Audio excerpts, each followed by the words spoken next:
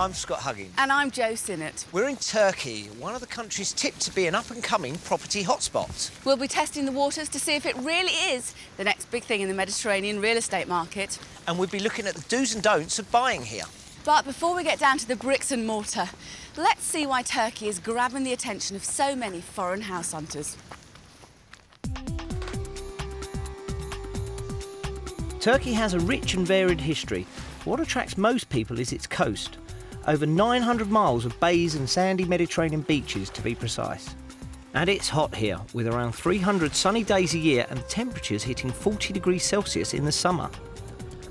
The country's tourist industry is booming as a result, with 18 million visitors in 2004, and numbers are predicted to rise at an average of 10% every year.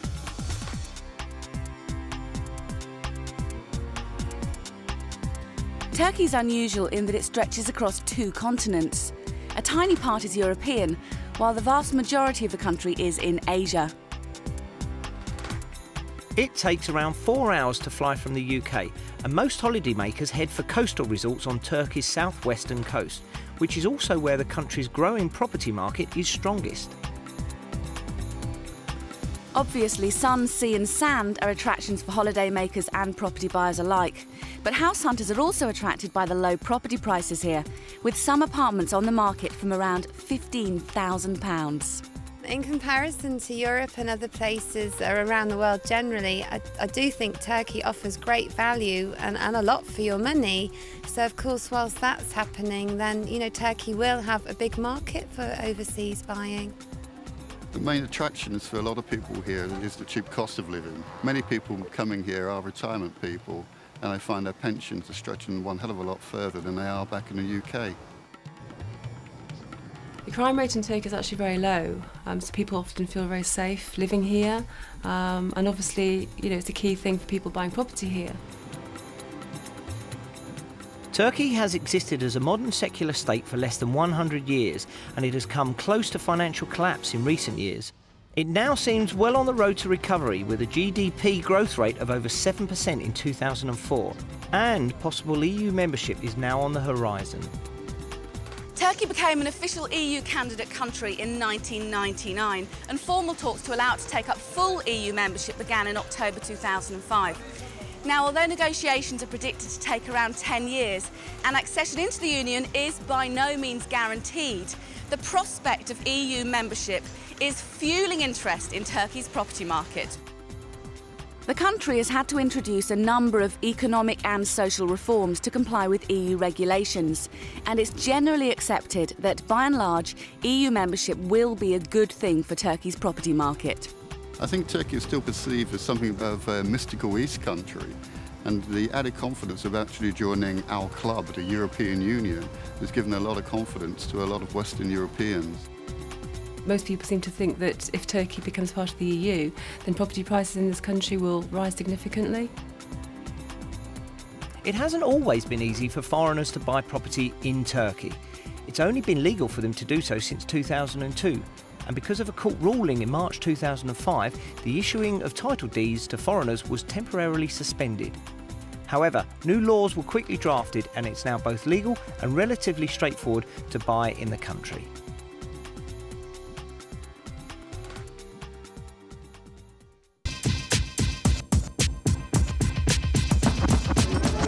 £80,000 will buy you this top floor two bedroom apartment with views of Bodrum. A four or five bedroom villa with pool in one of the best parts of the Bodrum Peninsula will cost between £200 and £225,000. Further north in Altınkum, you can buy a three bedroom duplex on a complex with a communal pool from under £50,000. And £65,000 will get you a renovated old house in Fethiye. Unrenovated properties start from around 40000 Now, all of those houses and apartments are on Turkey's southwest coast. Properties in the area generally offer reasonable rental potential from April to October, which is when most holidaymakers visit. The vast majority of tourists come to the coast by charter flight, but it is rumoured that the budget airlines will be allowed to fly into the more popular resorts. This will obviously increase the number of visitors and is likely to have a knock-on effect to the property market.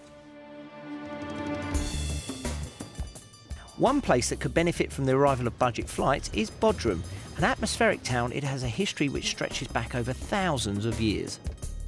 These days, Bodrum is a modern, cosmopolitan resort, popular with both package tourists and wealthy Turkish people. And now, the well-heeled locals and foreigners alike are starting to buy property here.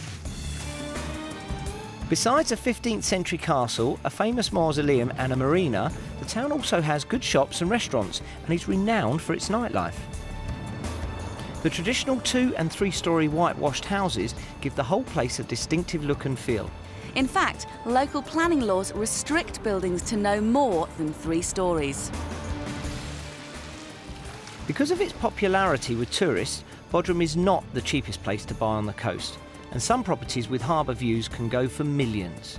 Still, you can get two bedroom apartments from around £55,000 and three bedroom villas from around £95,000. The Bodrum Peninsula stretches west of Bodrum. Parts of the peninsula are fashionable with Turkish second homeowners, and these areas can be expensive. However, local experts are touting the northwestern stretch of coast between Gümüşlük and Yalıkavak as the up and coming region on the peninsula. Now, although there are some apartments around there, most of the properties available are villas, so we went along to take a look at one. This here is a three bedroom property on the Bodrum Peninsula. It's about 35 minutes from Bodrum and it's £165,000. So, let's see what you get for your money.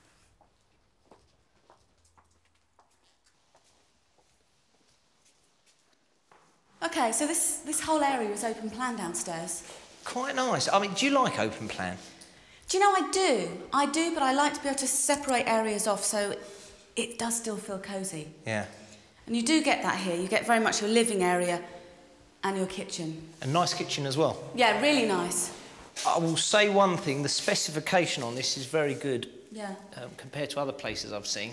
Now, you don't actually get a lot of the goods with this. You don't get the, the freezer, you don't get the cooker, that sort of thing. So you're paying extra for that stuff. You don't even get light fittings. No, or central heating. So basically, for £165,000, almost the shell of the house, because you've got to spend so much money on those sort of things. But at least you can decide what your level is after that. And if you want to really push the boat out and buy expensive fridges and that, you can do. Similarly, if you want to budget, you can do that too. The one thing I would say for £165,000, I kind of would have expected more of a house. But we won't know that until we have a look upstairs. We won't. Gone after you. Come on.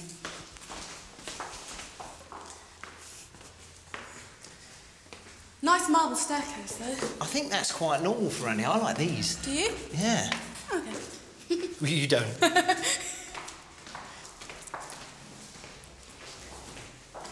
Now, believe it or not, this is the largest of the three bedrooms. Is it? Well, it's not exactly large for a large bedroom, I have to say.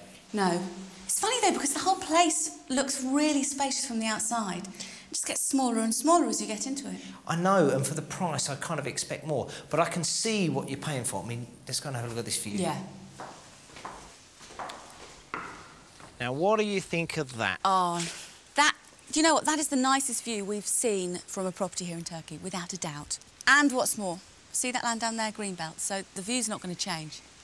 It's actually quite a cute sized development as well. There's only 10 properties here, all sharing one pool. Fantastic size. Really charming, I'd say. And talking about charming, this whole area is beautiful. This is one of the most desirable parts of the Bodrum Peninsula. So you're paying for location, aren't you? And view, and really it's a trade off. The size of the property anywhere else on the peninsula would be bigger for this price. So, trade off between view or size of property. So it just depends what your priority is. And if you like a view, that's a view. Altinkum is a resort about an hour and a half north of Bodrum. And it's about two hours away from the international airport at Izmir, which has direct flights to the UK all year round. Now, Altinkum means golden sands, and as you can see, the resort certainly lives up to its name because it's got three glorious stretches of sandy beach. A popular package resort, Altinkum doesn't have the character of Bodrum town or the sea views of the Bodrum Peninsula. Its main tourist attractions are the beaches and the nearby Temple of Apollo. But what's putting Altinkum on the property map is the fact that it's cheap to buy here. Altinkum's a new resort, really. It's fast growing, and especially so because of the property boom that's going on. I mean, the prices up there, they're just incredible. You, you could be in your own home for as little as £25,000. Apartments account for about three quarters of Altinkum's real estate, and rental potential in the holiday season is good. However, the building boom is making the market increasingly competitive. We have got like around 600 estate agencies in Altinkum. Imagine each estate, two British contacts, is big market. Villas are more readily available in the villages around Altinkum, and these areas also tend to be quieter than the main resort. Akbuk, for example, is six miles south of Altinkum and has three bedroom villas from around £55,000. Alternatively, you could build your own property, as there's also land available with building permission. Well, there does seem to be plenty of property to choose from. So, to get a picture of the buying process, I met up with local estate agent Ishik Hashchavush. So, broadly, how do you go about buying property here in Turkey? Depends on the type of property you're buying, uh, whether it's resale or off plan. If you're buying resale, uh, you could get together with the seller of the property, make up your own timetable of events, mm-hmm. put down 10% deposit. The seller would then apply for military permission on your behalf. When that comes through, a visit to the land registry and the t- title deeds would be transferred to your name. It, and obviously that you would then make the 90% remaining as, as payment. But I must stress that it's important to use a solicitor. So obviously a solicitor can do a lot of problem shooting for you. What sort of problems are we talking about? Problems with title deeds or lack of, problems with the property being illegally built, no planning permission, problems with with it being built on an archaeological site, which is illegal, problem with it being on a, on a greenbelt site, uh, problems with a sales contract that isn't valid. Sometimes the, the, the, sales contract that people just put together without a solicitor isn't worth the paper it's written on. And uh, more, more importantly, it might actually be in a military zone, which is again totally forbidden. Now, tell me a little bit about the taxes and fees that are incurred when you're buying property here. Taxes and fees, there's property tax that uh, every purchaser has to pay, which is generally equally divided, which is 3%, generally equally divided between the buyer and the seller. There's the military permission fees, more importantly, which mm. varies from municipality to municipality. And there's also solicitors' fees. And have you seen a lot of a lot of uh, interest from foreign investors recently? Certainly, since Turkey started talks to join the EU, we've seen a lot of interest from our Western European neighbours. And are people buying the places to rent out, or are they buying them purely as holiday homes? lots of reasons, either to use themselves, either to move out here, either to rent, or just for the capital growth. And how would you say the market looks like it's going to develop over the next few years? I think it will continue to flourish and, uh, and the capital growth will sustain. Coming up, we'll be house hunting further along Turkey's coast. And we'll be visiting properties with a past.